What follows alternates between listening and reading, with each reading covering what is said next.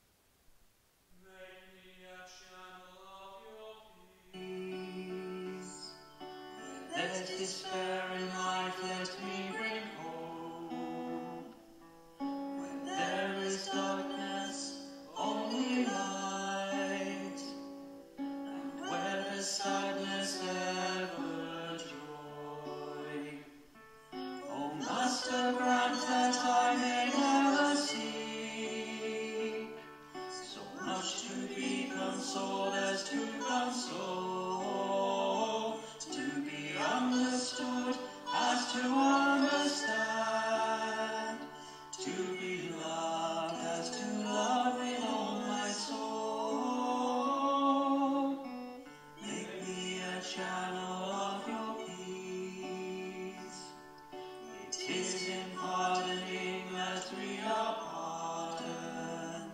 In giving to all that we receive, and in dying that we're born to eternal life.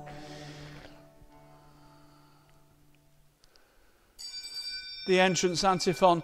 Truly the Lord has borne our infirmities, and he has carried our sorrows. In the name of the Father, and of the Son, and of the Holy Spirit. Amen. The Lord be with you, and with your spirit. Well, welcome here to St Mary's today. Um, it's uh, warm today, but not particularly pleasant weather. We're threatened with rain, uh, muggy, I think they call it, um, and so a bit, a bit warm, a bit wet, a bit claustrophobic, um, but nevertheless, uh, we're here together to worship. I stand before an empty church, just waiting to be ready to welcome those who want to come and make their individual private prayers when we open uh, again at the end of this week for a few hours each, uh, uh, three days a week. And uh, it's a strange sight, as it always has been through these past few months now. Uh, but it's wonderful for me to know that you are there. And I hope it's wonderful for you to be here with me and with one another as we worship God and thank Him for His love and mercy. I'm offering Mass today for the soul of Leo Carroll, member of our parish. His funeral's uh, tomorrow, and uh, that uh, hymn we started with, Make Me a Channel of Your Peace, is one of the uh, hymns which will be played at the funeral service, uh, which is taking place tomorrow at midday at the graveside. So we pray for Leo and for all those who mourn his loss. May he rest in peace. Amen. So now, as we celebrate this Mass together, let's call to mind our sins. You were sent to heal the contrite of heart. Lord, have mercy. Lord, have mercy. You came to call sinners. Christ, have mercy. Christ, have mercy. You were seated at the right hand of the Father to intercede for us. Lord, have mercy. Lord, have mercy. May Almighty God have mercy on us, forgive us our sins, and bring us to everlasting life. Amen. Let us pray. Almighty and eternal God, our refuge in every danger, to whom we turn in our distress, in faith we pray. Look with compassion on the afflicted. Grant eternal rest to the dead, comfort to mourners, healing to the sick, peace to the dying, strength to healthcare workers, wisdom to our leaders, and the courage to reach out to all in love, so that together we may give glory to your holy name. Through our Lord Jesus Christ, your Son, who lives and reigns with you in the unity of the Holy Spirit, one God, for ever and ever. Amen. Now we have our readings from Scripture, which, as always, have been prepared in advance by members of our parish community. A reading from the first book of Kings. After the death of Naboth, the word of the Lord came to Elijah the Tishbite Up, go down to meet Ahab, king of Israel, in Samaria. You will find him in Naboth's vineyard. He has gone down to take possession of it. You are to say this to him The Lord says this You have committed murder, and now you upserve as well. For this, and the Lord says this In the place where the dogs lick the blood of Naboth, the dogs will lick your blood too. Ahab said to Elijah, So you have found me out, O my enemy. Elijah answered, I have found you out for your double dealing, and since you have done what is displeasing to the Lord, I will now bring disaster down on you. I will sweep away your descendants and wipe out every male belonging to the family of Ahab, fettered or free in Israel. I will treat your house as I treated the house of Jeroboam, son of Nebat, and of Baasha, son of Ahijah, for provoking and anger and leading Israel into sin. Against Jezebel, the Lord spoke these words The dogs will eat Jezebel in the field of Jezreel. Those of Ahab's family who die in the city, the dogs will eat, and those who die in the open country, the birds of the air will eat. And indeed, there never was anyone like Ahab for double dealing and for doing what is displeasing to the Lord, urged on by Jezebel his wife. He behaved in the most abominable way, adhering to idols, just as the Amorites used to do, whom the Lord had dispossessed from the sons of Israel. When Ahab heard these words, he tore his garments and put, put sackcloth next to his skin and fasted. He slept in the sackcloth and walked with slow steps. Then the word of the Lord came to Elijah the Tishbite. Have you seen how Ahab has humbled himself before me? Since he has humbled himself before me, I will not bring the disaster in his days. I will bring the disaster down on his house in the days of his son. The word of the Lord. Thanks. Thanks be to God. The response to the psalm Have mercy on us, Lord, for we have sinned. Have Have mercy on me, God, in your kindness. In your compassion, blot out my offence. O wash me more and more from my guilt, and cleanse me from sin. Have mercy on us, Lord, for we have sinned. My offences truly I know them. My sin is always before me. Against you, you alone have I sinned. What is evil in your sight I have done. Have mercy on us, Lord, for we have sinned. For my sins, turn away your face and blot out all my guilt. O rescue me, God, my helper and my tongue shall ring out your goodness. Have mercy on us, Lord, for we have sinned. Alleluia. Alleluia. Alleluia. God in Christ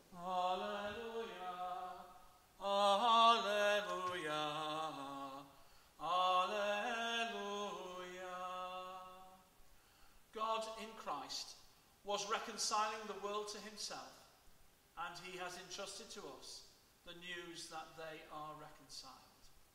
Alleluia. Alleluia.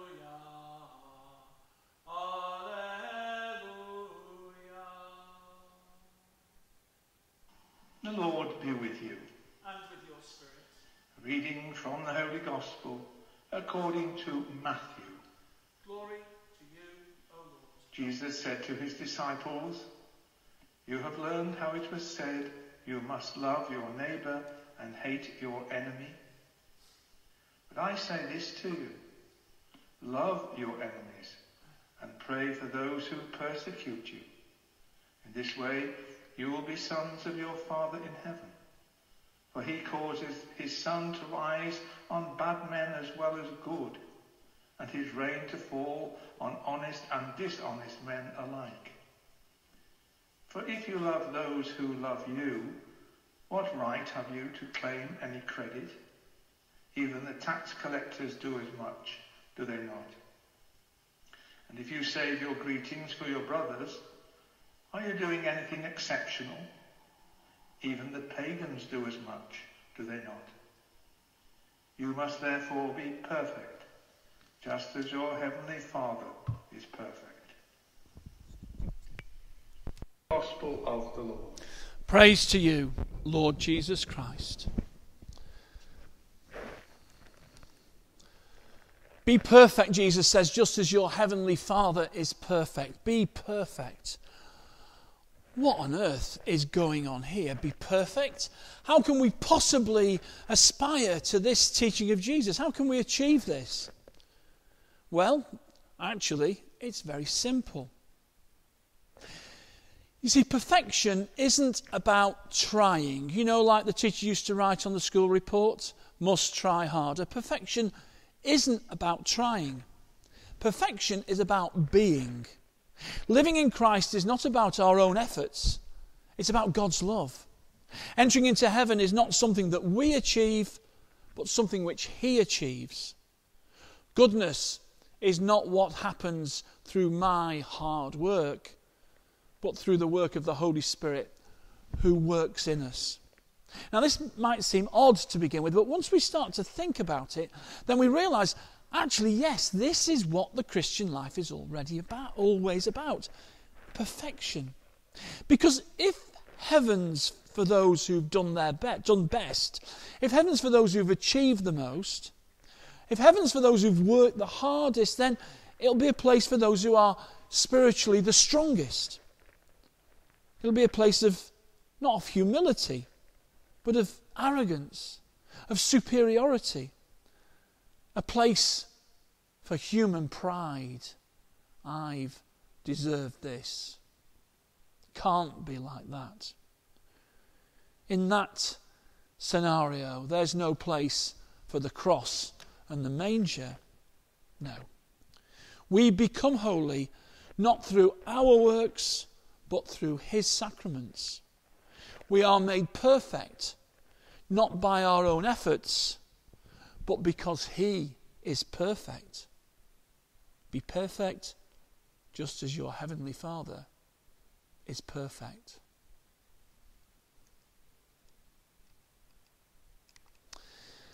We move now to our prayers, and on Tuesday we always make our, our thanksgivings. There are so many things in life to be thankful for, and we will move on to those in a moment. But first, we have some particular petitions which we need to make which have come to us in the last few days, uh, praying particularly for those who are sick, but other reasons too. We pray for Holly, member of our congregation, uh, a, a, young girl who's uh, had an emergency appendix operation, or at least was due to have one yesterday. I think she probably already had that. We pray for her that she's feeling a lot better once she gets over the operation and, uh, and, and uh, is uh, feeling very well. And for her family, of course, for this is a particularly anxious time. We pray for Lynn, who's in the uh, Queen Elizabeth Hospital in Birmingham for an operation on her spine. We pray that this may be a success. We pray for Christians throughout the world that they may practice their faith in peace. Sadly, we know that many Christians suffer because of their faith. It's said that there's about 11 Christians killed every day because they believe in Jesus. We pray for their safety for their well being and give thanks for their example and their fortitude. We pray for Keith, who's uh, in hospital, I think still in hospital, hopefully will be uh, fully restored to health very soon. For June Unet, who's currently in hospital after heart surgery. For Fred, also back in hospital. For Betty, recovering from a fall. For Claire, we give thanks she's out of critical care now and she's still in hospital for rehabilitation. So we pray uh, for her well being and for her recovery. We pray for Eugene, who's seriously ill after a brain operation. He's in Dublin. And we give thanks for Louise and the babies who've been home for a week now. Uh, wonderful news. And we pray for all those who are sick and needy at this time. We make our thanksgivings uh, for the twins we mentioned who were born last weekend to Louise. The present woman babies continue to do well. For Sarah, who's had a successful operation. For those recovering from the virus after being very sick in hospital, Rico, Jason, Ian, Mark, and many others. Thanks that the daughter's expecting a first grandchild. For Alex, who's gained a place in a specialist school. For Don, Bill, Les, and Mabel, who've all been in hospital recently and are now back at home. For someone who's got a new teaching job for September. For Gracie's brother, who's had successful surgery. For Doreen, who's doing well. For Monica, who's got a grandson. For birthdays in uh, these past couple of weeks. For my mum June, whose birthday was on Sunday. Our daughter Wendy, whose birthday was on the previous Saturday. Also for Others during the month, um, more recent times, we've had birthdays, last couple of weeks actually. Uh, Helen McGrath, Lynn Jones, Stella Lawless, Abigail and Spencer, Barbara Webb. And those who've had wedding anniversaries during the lockdown, uh, Michael and Valerie, Shirley and Father Peter, me, Peter and Ann Tibke, Deacon Peter and Ann Tibke, Phil and Claire Burrows, Paul and Ann Hender, Pat and John Wilson, and I'm sure many others too. We give thanks for Mick's return to health, for Kath's recovery, for Gerard's uh, continuing recovery. And we give thanks for these broadcast masses and for all who take part in them in so many different parts of the world. And I try and list those parts of the world. Uh, perhaps we do a proper list and you can, we can add to it and see exactly how many different places there are. But we give thanks for all these. We commend ourselves to God's love. We ask for his many blessings upon us as we now turn in prayer to our Blessed Lady.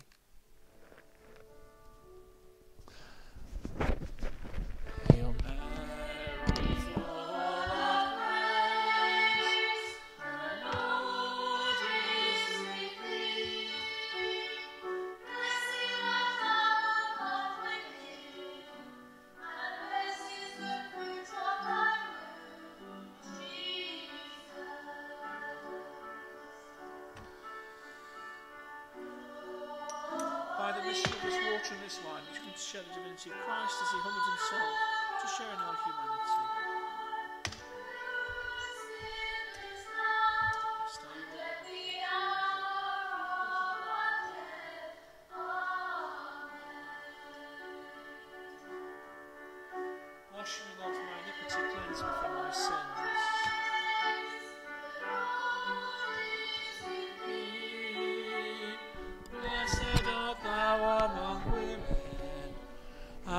Blessed is the fruit of thy womb, Jesus. Holy Mary, Mother of God, pray for us sinners now and at the hour of our death. Amen. Pray, my brothers and sisters, that my sacrifice and yours may be acceptable to God the Almighty Father. May the Lord accept the sacrifice at my hands for the praise and glory of his name, for our good and the good of all his holy church. Accept, O Lord, the gifts we offer in this time of peril. May they become for us by your power a source of healing and peace. Through Christ our Lord. Amen. The Lord be with you and with your spirit. Lift up your hearts. We lift them up to the Lord. Let us give thanks to the Lord our God. It is right and just. It's truly right and just, our duty and our salvation, always and everywhere to give you thanks, Lord, Holy Father, Almighty and eternal God. For just as through your beloved Son you created the human race, so too also through him with great goodness you formed it anew. And so it is right that all creatures serve you, all the redeemed praise you, and all your saints with one heart bless you. Therefore, we too extol you with all the angels, as in joyful celebration we acclaim Holy, holy, holy, Lord God of hosts. Heaven and earth are full of your glory. Hosanna in the highest. Blessed is he who comes in the name of the Lord. Hosanna in the highest. You are indeed holy, O Lord, the fount of all holiness. Make holy, therefore, these gifts, we pray, by sending down your Spirit upon them like the dewfall, so that they may become for us the body and blood of our Lord Jesus Christ. At the time he was betrayed and entered willingly into his passion, he took bread, and giving thanks, broke it and gave it to his disciples, saying, Take this, all of you, and eat of it. For this is my body, which will be given up for you.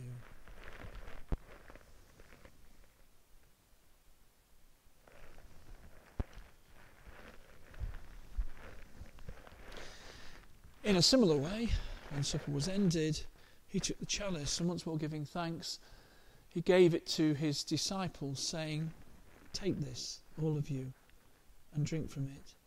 For this is the chalice of my blood, the blood of the new and eternal covenant, which will be poured out for you and for many for the forgiveness of sins. Do this in memory of me.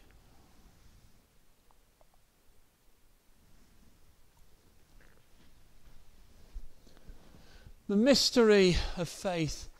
Save us, Saviour of the world, for by your cross and resurrection you have set us free.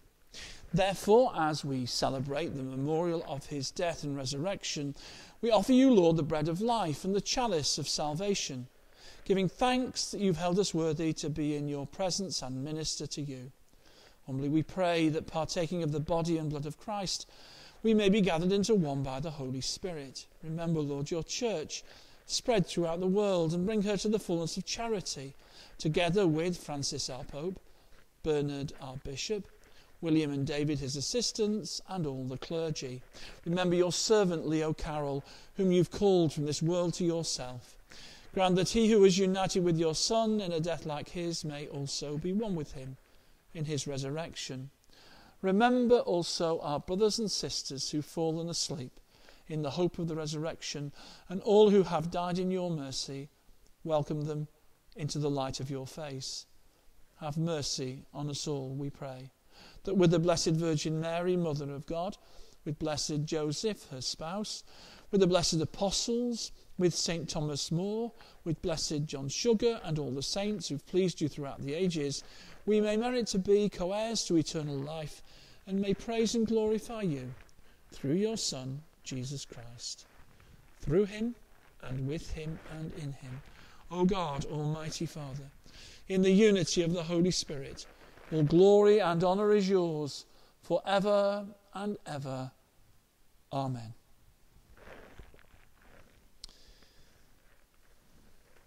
At the Saviour's command, informed by divine teaching, we dare to say, Our Father, who art in heaven, hallowed be thy name. Thy kingdom come, thy will be done on earth as it is in heaven. Give us this day our daily bread, and forgive us our trespasses, as we forgive those who trespass against us. And lead us not into temptation, but deliver us from evil. Deliver us, Lord, we pray, from every evil. Graciously grant peace in our days, that by the help of your mercy we may be always free from sin and safe from all distress, as we await the blessed hope and the coming of our Saviour, Jesus Christ. For the kingdom, the power, and the glory are yours now and forever. Lord Jesus Christ, who said to your apostles, Peace I leave you, my peace I give you, look not on our sins, but on the faith of your church, and graciously grant her peace and unity in accordance with your will, who live and reign for ever and ever. Amen. The peace of the Lord be with you always, and with your spirit. And now, across time and space, let's greet one another in the peace and love of Christ. The peace of the Lord be with you always.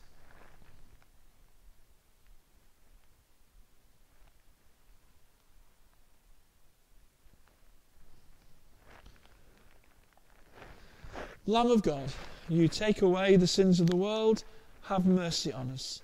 Lamb of God, you take away the sins of the world, have mercy on us. Lamb of God, you take away the sins of the world, grant us peace. Behold the Lamb of God. Behold him who takes away the sins of the world. Blessed are those who are called to the supper of the Lamb. Lord, I am not worthy that you should enter under my roof, but only say the word, and my soul shall be healed. Body of Christ, we meet to everlasting life.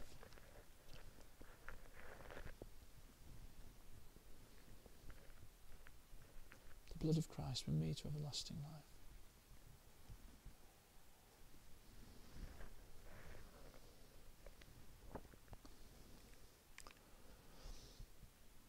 The communion antiphon Come to me, all who labour and are burdened, and I will refresh you, says the Lord.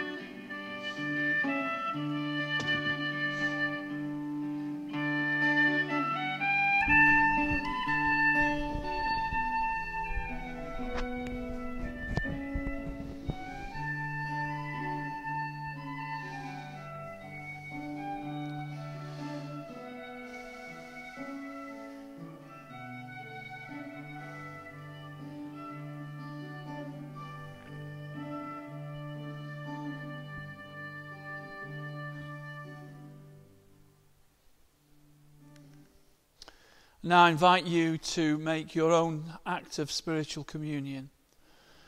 My Jesus, I believe that you are present in the holy sacrament of the altar.